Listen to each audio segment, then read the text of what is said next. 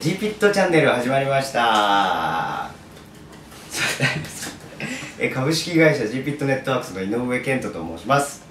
えー、っとですね本日は東京都新宿区にあるえ早稲田通り心のクリニックさんにお邪魔してます、えー院長先生の小栗先生です。小栗です。よろしくお願いします。お願いします。ちょっと簡単なあの自己紹介をお願いします、えっ、と早稲田通り心のクリニックを開業してから、えー、11年目に入りました。あ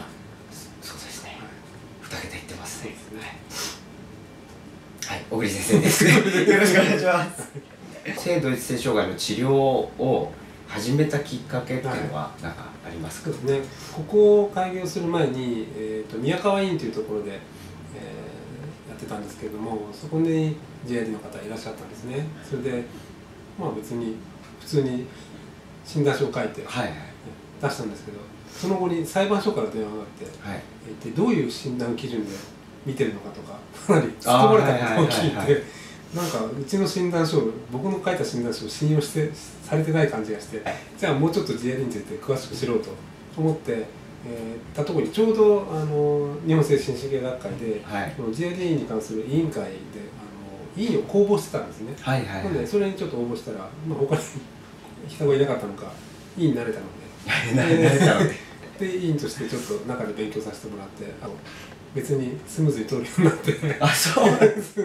その関係ある。まあ書き方もちょっと変わったってことですよねうん。まあ、今書いてませんけど、特別ねあのそんな流れで GID の方が、えーいらっしゃるようになったという性同一性障害の治療に必要な診断書を書かれている精神科の、えー病院なんですけれども、え具体的にこうどどんなカウンセリングといいますか、まあ、どんなことをしますか？あはい質問です。はい、まずあの診断するにあたってはそのいつから性別違和感があったのかとかそういったことを知る必要があるので、はい。えー自分主のはい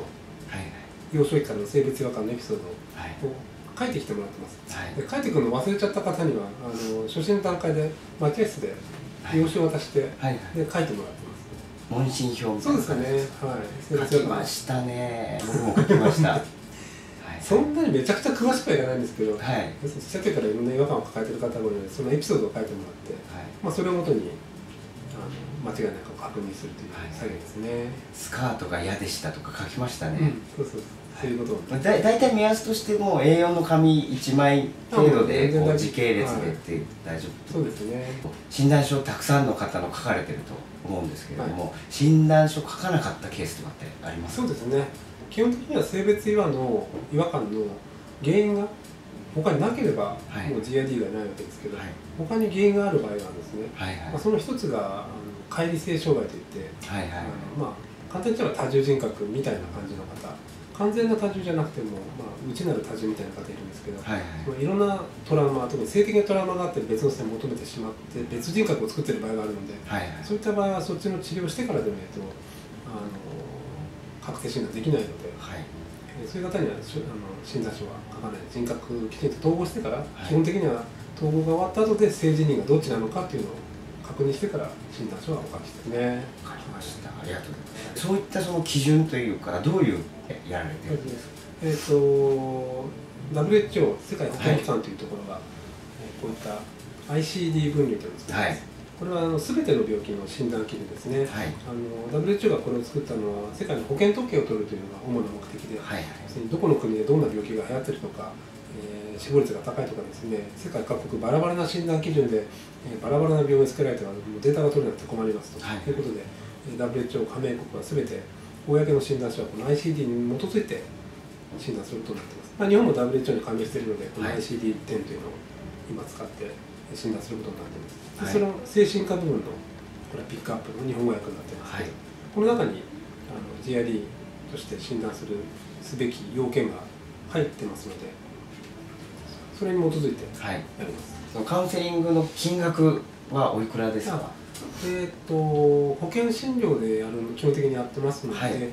初診で大体保険証を持ってきていただければ3000円かからないぐらはい。いですね、カウンセリング時間っていうのはどのくらい時間はまあ個人差ありそうますよね。ですね。まあ2 3 0分はい。ぐらいじゃないかと思いますけど。わかりました。ありがとうございます。余談なんですけど僕も7年ぐらいこう性同一性障害のサポートをやっていましてだいぶ状況変わったなって思うんですね、7年前のその当事者が置かれてる状況と今のなんていうんですかね治療に行くまでのステップだとかそういったものが大きく変わってるのかなと思うんですけどせ先生としてはどういや逆に教えてほしいんですけどカミングアウトしやすくなったとかかこうまだやっぱりしづらい方もいらっしゃる人によって全然違うんですけど、うん。置かれてる環境って、その親にカミングアウトした時に親が性同一性障害って言葉を知ってたとか7年前でもまだあメディアに出てきてる時代なんですけどもっと前の方とか親に性同一性障害って言っても、なんじゃそりゃっていうぐらいの認知度しかなかったのが今はだいぶこう広がってきたなっていうのがそうですね。そういった意味ではそうかもしれないですね。確かにまあわあのーまあ広口コミで広がったせいかもしれないですけど、会社の数が増え、おかげさまで。はい、えー最後となりましたが、